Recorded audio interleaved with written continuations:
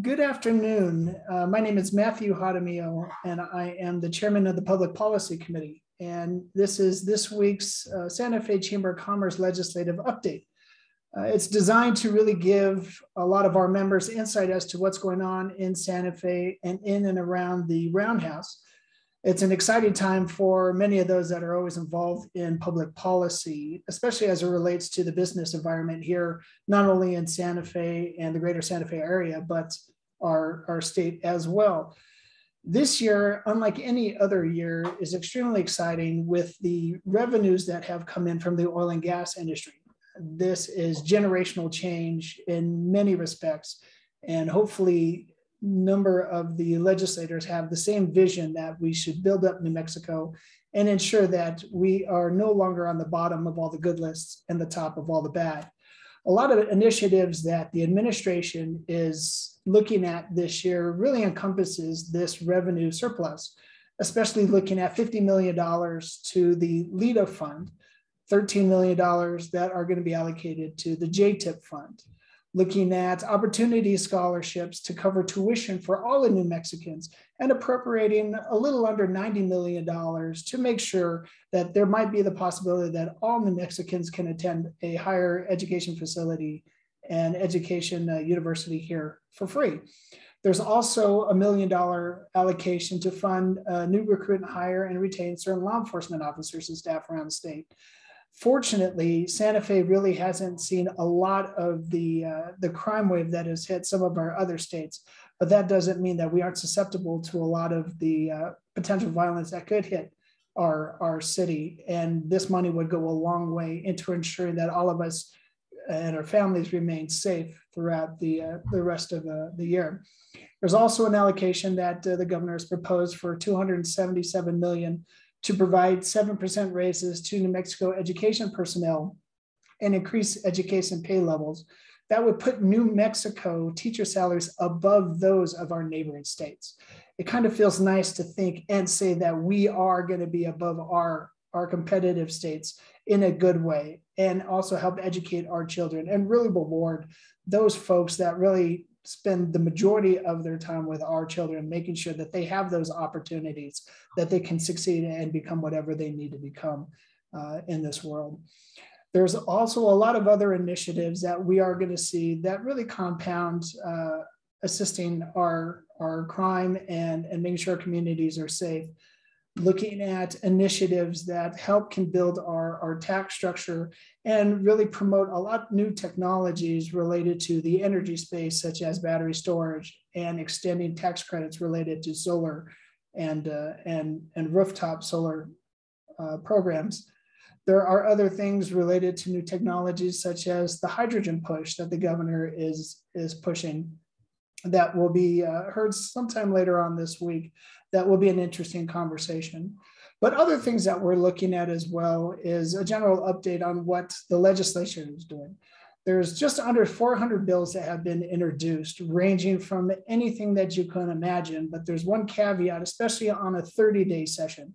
It's only relegated to what are budget and fiscal related items and what the governor has proclaimed are important through a message there are two different processes that the Senate and the House have to have these discussions. And it remains to be seen what we will uh, be able to discuss uh, with our elected officials that really help build up our, our business economy moving forward. So last week was more of an organizational type week. This week, they're starting to get some work done. Bills are running through committees. And I think as we get to Friday, Saturday, and Sunday, we'll really start to pick up uh, momentum all next week till we get to the end of session, which is on February 7th.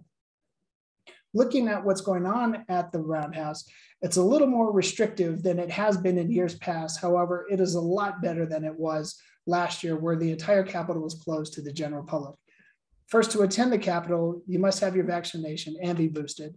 There are metal detectors this year to make sure that there is a safety protocol that is followed to ensure that everybody that goes in and around the Capitol is safe unlike years past, we are so used to seeing uh, different communities, uh, children, schools, initiatives, special days that are allocated to really advocate on, on what their initiatives are. Unfortunately, that is not going on this year. also, there's not a lot of events that are, are really being uh, uh, really being pushed this year just because of safety protocols and things like that. If you look at what's going on in the House, a lot of their committees are being held virtually.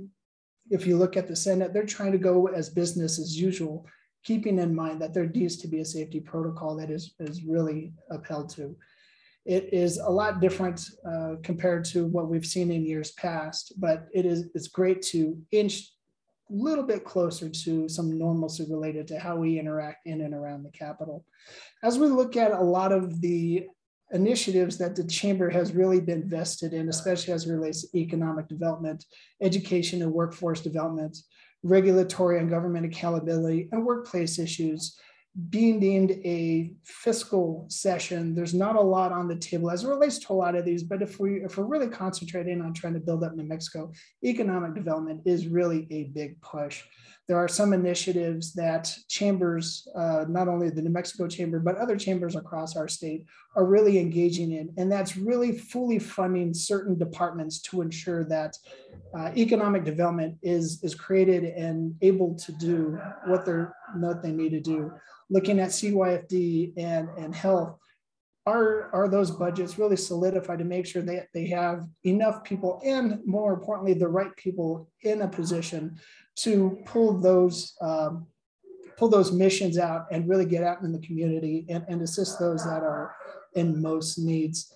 If, if we're looking at job creation, I mentioned JTIP and LEDA expanding those programs have always been something that the chamber is, is really vested in because we can not only attract outside businesses, we can also help stimulate our local businesses from within.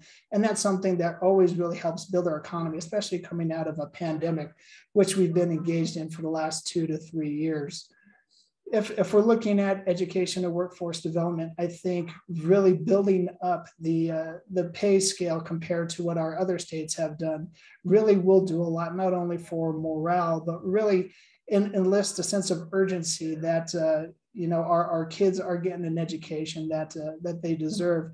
You couple that with the, the funding that has been allocated in sessions past related to pre-K and all the way up through uh, 12 and our university levels, hopefully programs will be initiated and help stimulate really that educational uh, educational space to where we can start raising the level of, uh, of our kids' education. Again, drawing back on economic development, making New Mexico a little bit more competitive and definitely more attractive for other states.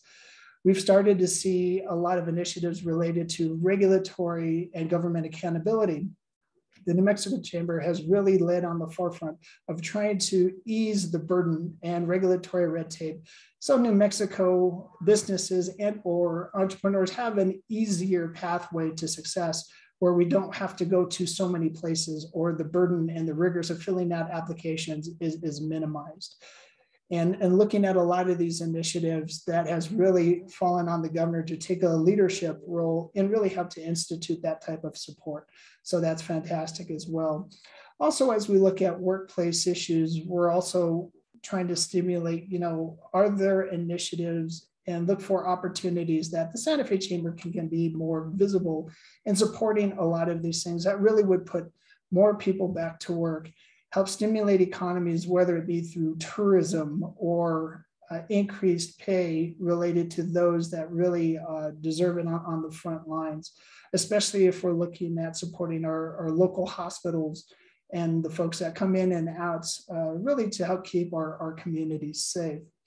So again, it is early in this legislative session. It is a little slow, but that's usually how it is. Things are a little bit different, but that's okay because the business community, not only in Santa Fe, but everywhere around New Mexico, is good at adjusting. We're good at evaluating what situations that we're in, kind of taking all the information that we can, and really kind of figuring out how to trudge forward, regardless of what kind of situation that we end up in. It's, it's a wonderful process and a wonderful time if you're a policy geek like some of us are. Uh, but next week, we'll have a little bit more update. We'll talk a little bit more prescriptively about some direct initiatives, and we'll have a lot more information. Hopefully we'll have Ricky Lee Chavez join us to give some insight as what she's looking at too. So you have a different perspective on a lot of what she's looking at, as well as what I'm following related to business initiatives. So I really look forward to hearing some feedback related to what you heard. If you want to hear some particular things, please send it through the social media platforms that this is distributed on. And if you have any insight that you'd like to add or a different perspective that we need to uh, consider, I'd love to hear that as well. So I really appreciate you taking the time to listen with what's going on. I really look forward to touching base with you next week. Have a wonderful and safe time. And thank you very much for participating. And thank you for being interested in the Santa Fe Chamber.